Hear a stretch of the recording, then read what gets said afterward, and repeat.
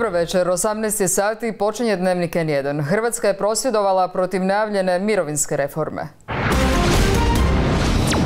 Više tisuća okupljenih na svaki spomen vlade i ministra Pavića zviždalo i vikalo lopovi sindikati traže odlazak u mirovinu sa 60 godina. Ako prosvjed ne uspije, sljedeći korak je referendum. Gost dnevnika Vilim Ribić.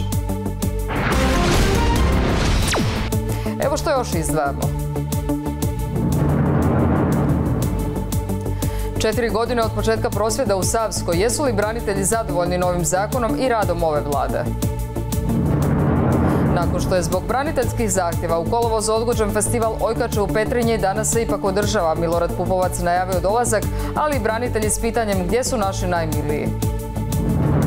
Saudijska Arabija službeno objavila kako je novinar Jamal Khashoggi ubijen u njihovom konzulatu u Turskoj. Do sada je zbog ubojstva uhićeno 18 ljudi, istraga traje.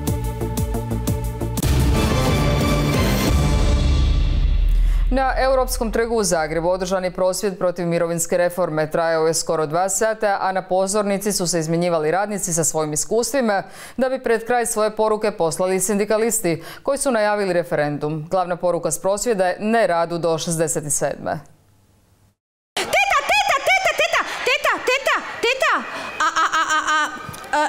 kako da ti danas ne sveta buka? Šta kažeš? ti danas se sveta buka. Joj, dijete drago, slušni aparati sam stavila na off.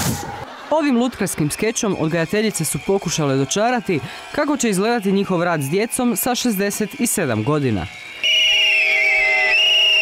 Tisuće prosvjednika različitih struha glasno su ih podržali brojnim transparentima i pokazali što misle o mirovinskoj reformi nemila krađa e, radnoga naroda i da ovo nikakva smisla nema i da bi se doslovno čitava Hrvatska radila ili ne radila protiv ovakve nepravde trebala dignuti. Medicinske sestre ne mogu 365 dana u godini, 24 sata dnevne, uopće doživjeti te godine. Prosvjednici traže povratak dobne granice za odlazak u punu starosnu mirovinu na 65 godina, nepodizanje dobne granice za dugogodišnje osiguranike i ublažavanje penalizacije za prijevremeno umirovljenje. Sindikati poručuju, ako se zahtjevi ne ispune, ide se na referendum. Moram reći da mi već temeljito radimo i na pripremama prikupljanja potpisa. Naše iskustvo je dovoljno jako, već smo tri puta do sada uspjeli prikupiti dovoljno potpisa i razbili tri inicijative koje su išle od vladajućih s jedne ili s druge strane. Po porukama koje sada dobivamo jasno je da ćemo bez problema i ponovno prikupiti potpise koliko se god netko trudio s druge strane, onda će se morati održati referendum, onda ćemo na referendumu nešto i Ministar Pavić nakon prosvjeda svojim porukama, kako sam kaže, želi umiriti građane.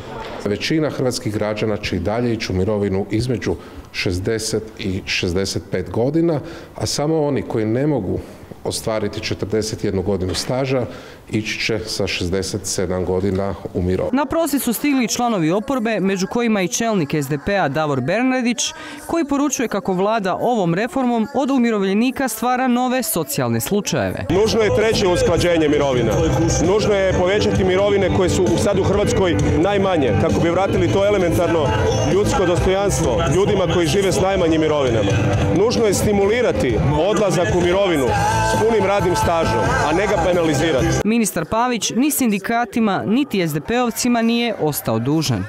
Znatkovito je bilo i isto tako broj SDP-ovih dužnosnika na samom skupu. Znakovito je isto tako da sindikati nisu prosvjedovali 2014. kad je SDP-ova vlada donijela zakon da se ide sa 67 godina. Ne znam je li to razlog što su se sindikati bojali SDP-ovom bojom ili je to razlog što je SDP u totalnom rasulu i nesposoban organizirati svoje aktivnosti. Sindikati poručuju kako ovaj prosvjed je tek prvi u nizu akcija, a vlada očekuje kako će ovakva mirovinska reforma na snagu stupiti 1. siječnja. Mirna Brekalo, N1, Zagreb. Prosvjedi i mirovinsku reformu prokomentirala i predsjednica Republike tijekom svog boravka u Istri. Ministar eh, Pavić je predstavio mirovinsku reformu u mojem eh, vijeću za gospodarska pitanja. Oni su je pozdravili i prema onome što ističe ministarstvo, dakle ona bi u jednom dugoročnom razdoblju morala dovesti eh, do stabilnosti mirovinskog sustava. Međutim, ono što me brine su svakako trendovi koje danas vidimo u Hrvatskoj, a koji su zapravo i povodom ovom štrajku danas sindikata i nezadovoljstvu ljudi zbog mirovinske reforme. A to su, e, kao što sam rekla, demografski trendovi koje isto tako prati i zdravstvena zaštita, e, školstvo e, i naravno ono što moramo učiniti mijenjati uvjete rada za radnike zato što je Hrvatska nažalost među onim državama u Europi koja zbog demografskih trendova s jedne strane ima starenje stanovništva jer nam mladi odlaze, ali s druge strane isto tako smanjuje se očekivani životni vijek, što znači da nešto ne štima u sustavu zdravstvene zaštite da nam je očito potrebno staviti naglasak na prevenciju i na sve ostalo. Odlazimo sada ispred Ministarstva rada gdje je naša reporterka Mirna Brekalo. Mirna, jesu li sindikati zadovoljni odazivom na prosvjed i što će učiniti ako on ne padne na plodno tlo?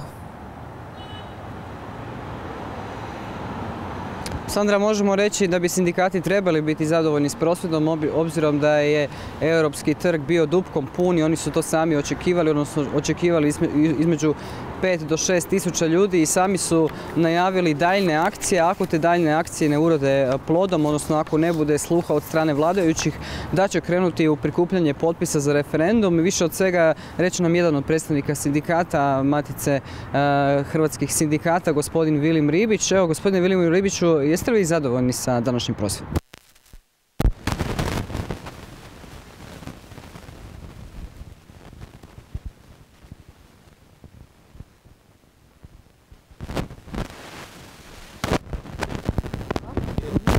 Na prosvjedu koji se to tiče.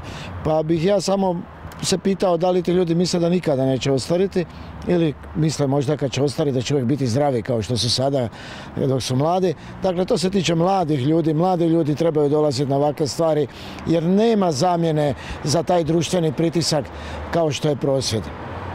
E, recite mi, ministar Pavić odmah nakon prosvjeda u 14 sati održao je preskonferenciju ovdje u Ministarstvu rada. U principu se osvrnuo i rekao kako je prosvjed demokratsko pravo, ali iz njegovog e, govora nismo mogli zapravo čuti da je on spreman na nekakav daljnji dijalog. U principu je ponavljao sve ono što već ponavlja, e, da će mirovine i dalje umirovljenicima rasti, da većina ljudi ipak neće ići u mirovinu prije 67. Kako gledate na njegove izjave imali zapravo uopće prostora više da vlada uopće e, vaše zahtjeve e, uvaži?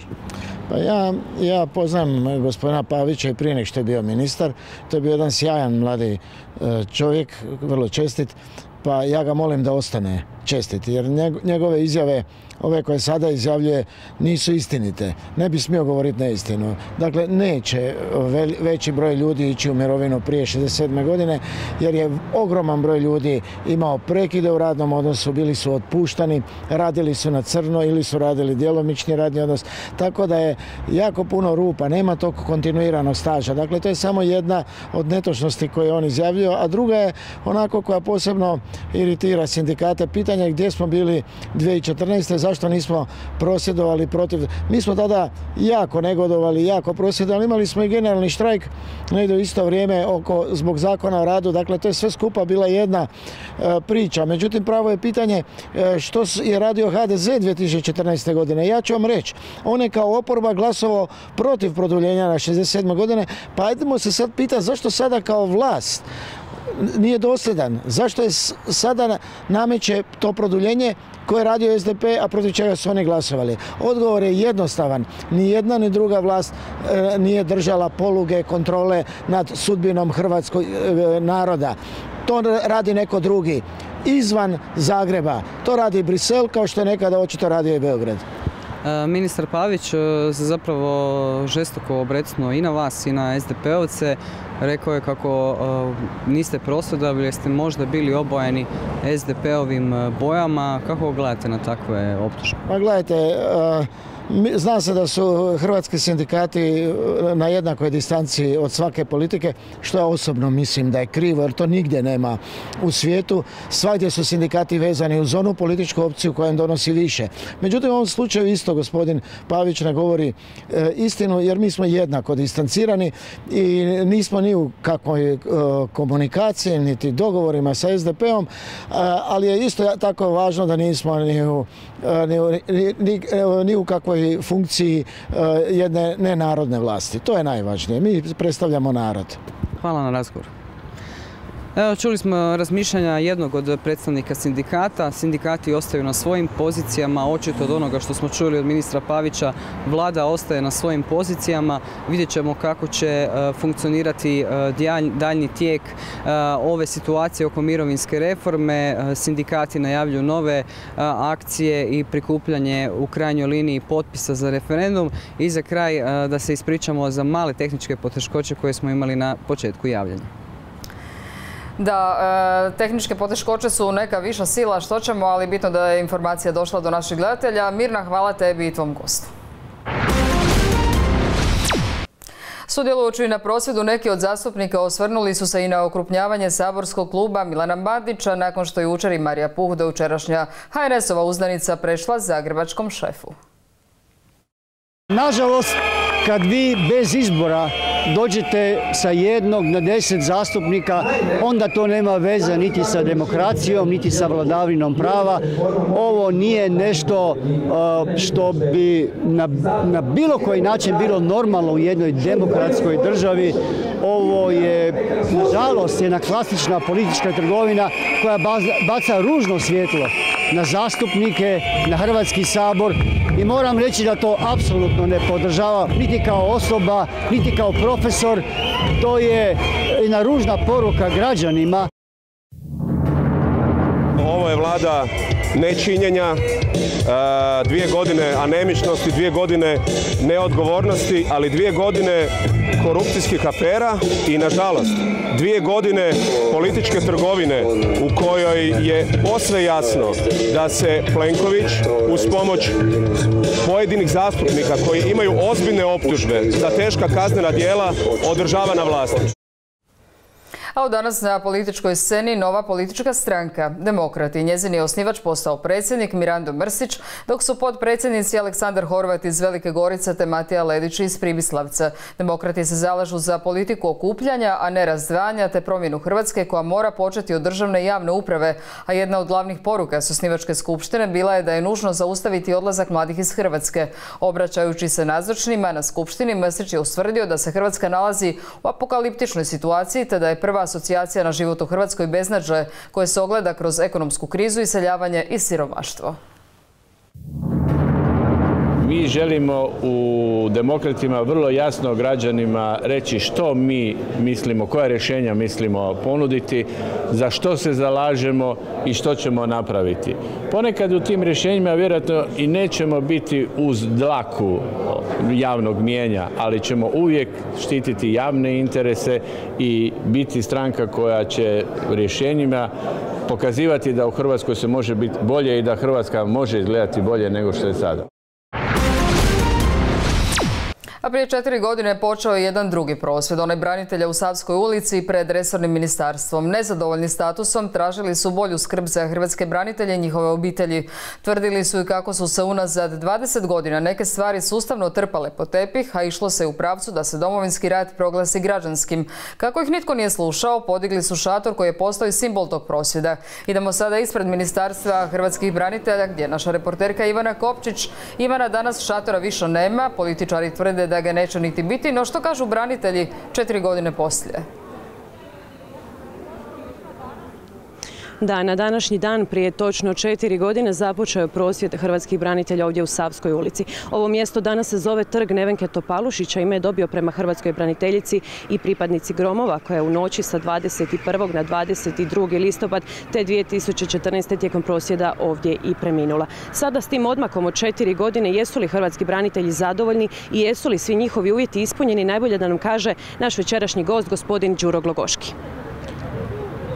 Što se tiče problema s kojima se susreću hrvatski branitelji koji su se stvarali godinama, bili smo svijesti i prizredi zakona da se oni neće moći riješiti preko noći. Zakon je donesen i ono što je najvažnije to je da se on počeo provoditi. Jedan dio zakona koji je vezan uz mirovinska prava, on će stupiti na snagu 1.1.2019. godine. Ono što je svakako najvažnije za hrvatske branitelje, to je pitanje njihovog zdravlja. Uskoro treba biti, znači, vlada treba donijeti e, kada je u pitanju e, zdravlje hrvatskih branitelja ono što je najvažnije za hrvatske branitelje, a to je kakav će biti postupak kada je u pitanju njihovo liječenje i koje su institucije nadležne za njihovo liječenje i mislimo da u cijeloj toj priči, kažem, e, najvažnije da se preventivno djeluje kako ne bi došlo do pogoršanja zdravstvenog stanja hrvatskih branitelja koje je jako loše. Kako zapravo komentirate odnos, odnos ove sadašnje vlade Republike Hrvatske i Andreja Plenkovića prema hrvatskim braniteljima? Pa moram reći da je došlo do promjene. E, sada se razgovara, dogovara se i krenuli smo u jednom domu pravcu. Kako će dalje biti vidjet ćemo, ali za sada ne možemo biti u potpunosti zadovoljni. To moram reći i naglasiti, ali zadovoljni smo za sada u onom dijelu gdje se ima razumijevanja, sjedimo i razgovaramo, to je najvažnije. Gospodine Glogoški, hvala vam na ovom razgovoru. Hvala vama. Evo čuli smo našeg večerašnjeg gosta, a nakon što izreknu svoje molitve i što zapale svijeće ovdje na trgu Nevenke Topalušić, hrvatski branitelji uputit će se prema crkvi Svete Mati Slobode na Zagrebačkom Jarunu, gdje će u 19 sati započeti sveta misa za sve poginule i nestale hrvatske branitelje. Hvala Ivana tebi i gostu. Bila je ovo naša reporterka Ivana Kopčić. Dio tih istih branitelja usprotivio se festivalu Ojkače koji je trebao biti održan u Petrinji prije dva mjeseca, koji se eto danas ipak održava. Iako je festival Ojkače u Petrinji trebao biti prije gotovo dva mjeseca, otkazanje. Pritisak braniteljskih udruga bio je velik, a argument neće u Petrinji biti Ojkača, a posebno ne na dan kada branitelji otkrivaju spomen ploču pokojnom predsjedniku Franji Tuđmanu. Zanja spomen ploče, postavljanja spomen ploče, e, mi kao udruga nismo znali. mi nemamo uopće informaciju kada druge udruge nešto odrađuju. Da smo znali, mi ne bi pravili problem. U stvari ja ne vidim tu nikakav problem jer e, predsjednik Franjo Tuđman je predsjednik je i srpske zajednice, znači i nas. Ovog puta branitelji koje je dio hrvatske javnosti već ko karakterizirao kao za branitelji jer ne propuštaju priliku da utječu na neke događaje, sada poručuju dolazimo na festival. Prije tjedan dana smo bili i na prosvjedu u Vukovaru, kao i tamo i sada u Petrinji. Postavit ćemo im pitanje gdje su naši nestali. Dobili smo informaciju jučer da će doći i konzul Republike Hrvatske u Petrinju ovdje. Rekao sam Mari Virus da ćemo ga pozvati na kao prijateljsku kavu, on je ovdje gost rada Petrinje i pokušat ćemo s njim razgovarati ne o, ojka, ne o ojkačama, ne o Govorimo o gospodinu Nenadu Maričiću. Nenadu Maričiću, tako da. I e, da pokušamo riješiti neke druge stvari koje su o životne važnosti, a to je da vidimo što s našim nestalima, bez obzira s koje strane dolazili. E, ja se nadam da ćemo taj poziv prihvatiti. Nadam se da će i gospodin Pupovac, a čuo sam da dolazi i on, biti tu da pomogne u, to, u tome problematici. I dok se jedni pozivaju na ustavi i prava nacionalnih manjina, a drugi samo žele odgovor na pitanje nestalih u domovinskom ratu, s vrućim krumpirom bori se gradonačelnik Petrinje. E, ja kao saborski zastupnik dao sam do znanja i svojim kolegama i dao sam poripu. U dva navrata sam pisao ministrici ministrici kulture da dođe, da mi dade podršku. Međutim, ona je jučer došla i otišla. Ja sam očekivao da će se bar javiti kad dolazi u moj grad, da zajednički stanemo pred kamere i da damo jasnu poruku. Na večerašnjem festivalu Ojkanje izvodit će i Srbi i Hrvati. Uvjereni, brane tradiciju koju je UNESCO svrstao na listu kulturne nematerijalne baštine. I Srbi i Hrvati i doći će naši e, ljudi koji su otišli e, u druge države države, znači u Republiku Srbiju i Republiku Bosnu i Hercegovinu. Jesu li oni pod strahom večeras ovdje? Pa ovo su najodlučniji koji su odlučili, znači i ispred Hrvata i ispred Srba. E, iako jedan velik broj još uvijek je u strahu. Neću dozvoliti da dolazi do getoizacije i nema te kućice u kojoj se može bilo koja manjina staviti i da oni mogu pjevati u toj kućici, a da neke kuće kao što Hrvatski dom nisu otvorene za pjesmu. Pjesma je svaka dobro došla. A građani Petrinje na dan festivala Ojkača organizirali su festival Kestena. Drže se podalje od politizacije i poručuju, ovdje i Hrvati i Srbi imaju isti problem. Nemaju posla niti plaće. Je dobar suživot, e, sve zavisi kakav je ko čovjek i to. Da mi koji smo ostali tu, da se mi pak trudimo da se slažemo. Evo. Otkazani festival tako je postao odgođeni, a svima koji tvrde da je bio zabranjen, branitelji poručuju da su u krivu, jer branitelji nikome ništa ne brane. Mirela Bačić, N1, Petrinja. Idemo sada i uživo u Petrinju gdje Mirela Bačić. Mirela, bile su nave da će na festival doći i predstavnici Srpske nacionalne manjine, onaj politički dio, ali dio branitelja. Što se događa? Pa evo Sandra, odmah da krenemo sa političkim akterima. E, prije nekoliko trenutka e, s moje desne strane u ovoj zgradi Hrvatskog doma je počela ta kulturna manifestacija e, festivala Ojkanja, odnosno Ojkače. Međutim, iako pozvana i ministrica kultura, kulture Nine Obuljen Koržinek, a i predstavnik, predstavnik srpske manjine Milorad Pupovac, oni se večeras ovdje nisu pojavili. Postali su službenim organizatorima ispriku. Ministrica se ispričala da ima poslovnih obveza u Rijeci, a Milorad Pupovac rekao je da ne može nazočiti ovoj manifestaciji iz zdravstvenih razloga. Ali oni koji su se odazvali, koji su se najavili su svakako braniteljske udruge koje nisu ušle unutra ometati ipak ples i ojkanje i cijelu kulturnu izvedbenu manifestaciju, ali su zato u ovom trenutku ispred zgrade e, stavili jedan transparent koji je bio, e, sjećamo se, i u Vukovaru prije tjedan dana. Ponovno su pitali gdje su naši najmiliji, gdje su naši nestali i pitaju se tko je osuđen za zločine na Banovini. Oni ovdje stoje već nekih 15 minuta, rekli su da će biti disciplinirani, da neće raditi probleme, da neće imati ekscese, ali će mirno prosvjedovati jer smatraju da e, festival u Ojkači ovdje nije mjesto, ne u Petrinji, a upitat ćemo i zašto mog večerašnjeg gosta, jednog od predstavnika branitelja, gospodine Mirko, zašto mislite da e, festival Ojkače nije dobar za Petrinju i ne bi trebao biti ovdje? Mislimo zato što ta ojkalica u Petrinji nema tradiciju. E, ojkalica je kulturno, zaštićeno kulturno nematerijalno blago u UNESCO, ali ne iz ovih krajeva. E, ojkalica je zaštićena iz sjevernog dijela Dalmatinske Zagore, iz Like, iz Korduna, a ovaj kraj ne baštini ojkalicu. Dakle, to su nekakve druge namjere, jer ovdje ojkalice nije bilo i u vremenu kad su bili predsjednici, a od rata, drugog svjetskog rata, bili su predsjednici općine, uglavnom Srbi. I Aniša Šteković i ovaj... U redu, a zašto mislite, e, oprostite što vas prekidam, zašto mislite da su to neke druge namjere, a ne kulturne? Zato što su to neke druge namjere, ja ne znam, to, to bi trebalo njih pitati koje su to namjere. Ali oni kažu da oni isključivo imaju e, čuvati tradiciju i baštinu. Ma to nije tradicija ovdje. To nije baština ovdje. To je baština nekih dijelova Like, to je baština nekog, nekog dijela Korduna i sjevernog dijela Dalmatinske Zagore, a ovdje nije baština, ovdje nikada nije bilo ojkalice. Zato nas iritira. U redu, hvala vam na ovom razgovoru. U svakom slučaju ja ću podsjetiti e, da je ministrica kulture i naravno kao i predstavnici SDSS-a e, podsjetili su da ona je dio UNESCO-ve nematerijalne baštine koju je zapravo i UNESCO stavio na popis 2011. Ono što dalje moram reći i da ovdje ima, iako nije prijavljen nikakav poseban prosvjedni skup, ima mnogo policije, ima nekih 5 e, do 10 vozila, tu su i sa motorima i naravno i u uniformi pješački dio policije je čuvaju i rekli su samo da očekuju da neće biti incidenata. S obzirom da je cijela manifestacija već počela, ubrzo je se može očekivati da će se ovaj transparent ukloniti te da će sve proći mirno. Hvala ti, naša Mirela Bačić javila se uživo iz Petrinje.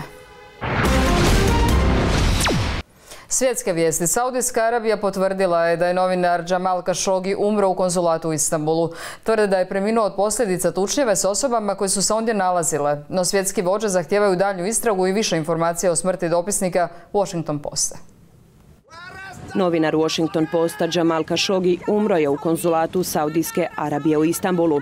Konačno je to potvrdila Saudijska Arabija. Kažu, do smrti je došlo nakon tučnjave s osobama koje je ondje susreo. Tvrde i da su uhitili 18 ljudi, no okolnosti još uvijek nisu poznate. Wir haben sehr früh dem wieder zurückgekehrten saudischen Botschafter hier in Berlin gesagt, dass wir erwarten, dass es eine umfassende und unverzügliche Aufklärung dieses Falles gibt. Sollten sich solche Vorwürfe äh, bewahrheiten, ist das nicht nur schockierend, es ist vor allen Dingen nicht akzeptabel. Äh, wir sind auch der Auffassung, dass es so langsam an der Zeit ist, dass die angekündigte Erklärung Saudi-Arabiens einmal erfolgt, damit äh, wir dies auch beurteilen können. Sobald wir diese Erklärung kennen, werden wir daraus unsere Konsequenzen ziehen. U tijeku su tri različite istrage, a promptno su smijenjeni zamjenik šefa obavještajne službe i viši suradnik prijestolonasljednika Mohameda bin Salmana. Smrt Kašogija dovela je do napetih odnosa između Saudijske Arabije i zapadnih zemalja te bliskog partnera SAD-a. We have uh, a lot of people working on it. We do, and we have other countries working on it, as you know. It's a very serious problem. You people are going to be very much involved in this too, indirectly and directly. And I'm going to have very much Congress involved in determining what to do.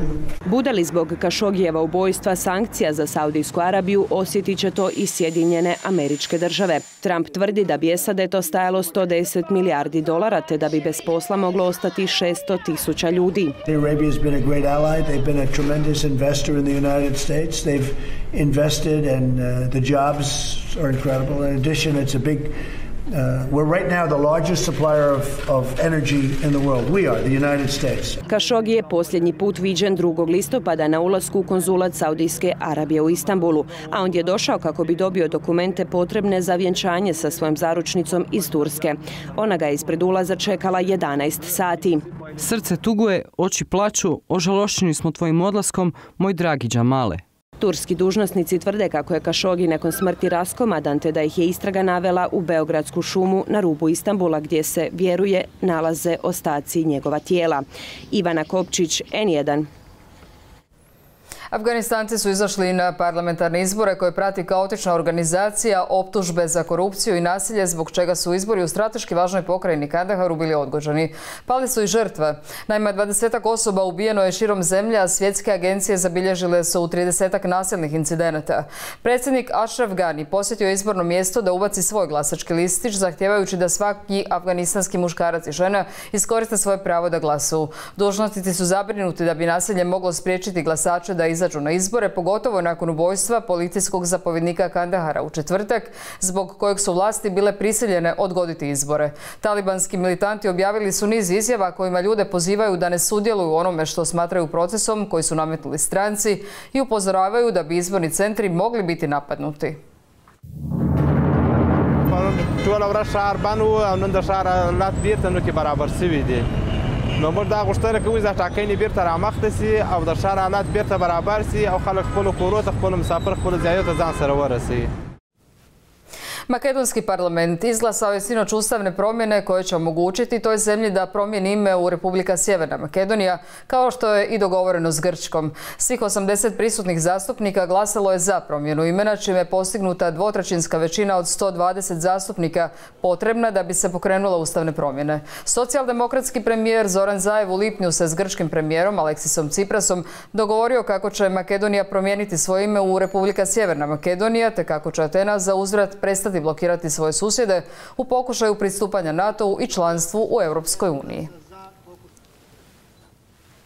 Željko Komšić, koji je izabran glasovima Bošnjaka za hrvatskog člana BiH predsjedništva, nije dobrodošao u općinama Posavske županije, objavili su zajednički tamošnji načelnici. Za nas Željko Komšić nije hrvatski član predsjedništva Bosne i Hercegovine, kojeg su izabrali Hrvati. Navodi se u zajedničkom očitovanju načelnika općina Ođake, Orašja i Domaljevac Šamca. Ističu kako su Hrvati birali drugog kandidata, te da sada Bošnjaci u predsjedništvu imaju dva predstavnika, Željka Komšića i Šefika Đaferovića. Stiže li nam sutra prethodno najavljivana promjena vremena, zna Ivana Carević. Dobra večer. Obilje sunca i ugodna toplina obilježili su i današnji dan, no već sutra nekima bi ovaj produženi period lijepog vremena mogao nedostajati. Naime, nad naše će krajeve pristizati vlaga, a sa sjevera i osjetno hladniji zrak. Stoga krajem dana i navečer postupno oblačnije, najprije u zapadnim i sjeverozapadnim krajevima, a do, do jutra u većini krajeva lijepe naše. Pritom u središnjim i gorskim krajevima, kao i na sjevernom Jadranu, može pasti malo kiše. Sutra tako u unutrašnjosti i gorju promjenjivo oblačno uz povremenu kišu i na Jadranu nestabilnije uz češću oborinu u prvome dijelu dana, a kasnije tijekom poslje podneva ovdje i u sunčana razdoblja. Vjetar na kopnu umjeren ponegdje i jak sjeverni i sjeverozapadni, na Jadranu će puhati umjerena i jaka podnove lebita i olujna bura. A najniže temperature tijekom iduće noći slične kao noćas. Na kopnu uglavnom od 5 do 9, a na moru od 13 do 17 no danju osjetno svježije. Najviše dnevne temperature u kontinentalnim predjelima između 10 i 15 stupnjeva, a uz obalu i na otocima od 17 do 22. U novom tjednu i dalje promjenjivo oblačno, svježe, a do utorka na Jadranu i vjetrovito. U ponedjeljak je kiša izglednje u Dalmaciji i njenoj unutrašnjosti, ali je tijekom jutra ponegdje može biti u gorju. U utorak uglavnom suho i barem djelomice sunčano. A u srijedu, nakon kratkotrajne magle i sumaglice po kotlinama Gorskog kotara i Like, na kopnu izgledna slaba kiša. Bez oborine zadržat će se uglavnom na Jadranu, gdje će bura okrenuti na sjeverozapadnjak, ali će posvuda ostati podjednako svježe. Od sutra, dakle, vrijeme primjerenije dobu godine. Toliko vremenu i ugodan nastavak večeri. Dnevnik je gotovo, onaj u 22. Za vas priprema Ivana Tarić. Ostanite i dalje uz N1. Želim vam ugodan nastavak večeri.